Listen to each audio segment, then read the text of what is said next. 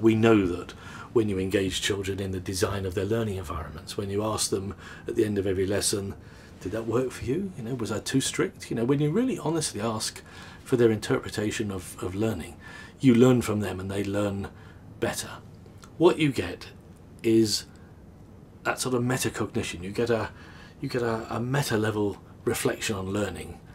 All the time they're learning, they're thinking about how they're learning.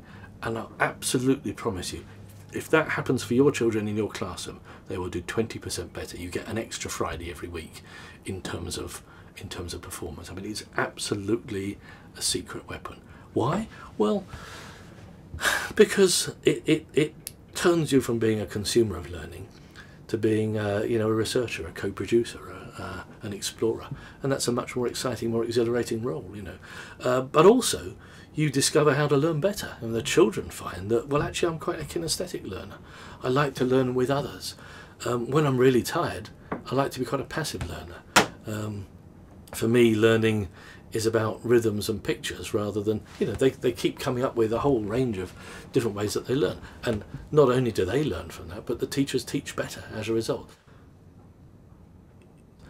On the one hand, you know, I can see that, that we've got children engaged in learning about learning, they reflect on their learning. The minute you engage them in that meta level learning, they think, well, I'm learning this, but I wonder how I'm learning this. I wonder how I might do it better. You know, this is this maths is all very interesting, but I think the rhythm is more important to me than the picture. You know, the minute they start thinking about that and chatting about it in the playground, you, you see a dramatic acceleration.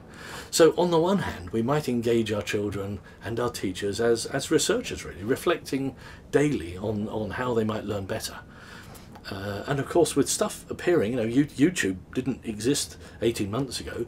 You know, now it's 200 million people a day watching, and they've just sold it for over a billion euros. You know, so I don't think policy can move that quickly. So the the nightmare scenario that runs as an alternative is that we just try and lock everything down.